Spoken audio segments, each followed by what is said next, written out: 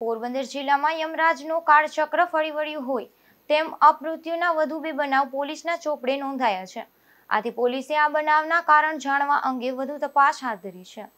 આ બનાવ અંગે પ્રાપ્ત વિગત મુજબ ખેતમજૂરી કરતા મોહનભાઈ ખાવડાએ કુતિયાણા પોલીસમાં એવું જાહેર કર્યું છે કે જીતેશ કરશનભાઈ ખાવડા નામનું પિસ્તાલીસ વર્ષનો યુવાન તારીખ પાંચ ઓક્ટોબરના રોજ વાડીએ પાકમાં ઝેરી દવા છાંટતો હતો અને એ દરમિયાન તેણે ઝેરી અસર થઈ જતાં સારવાર માટે ભાવસીજી હોસ્પિટલમાં લવાયો હતો.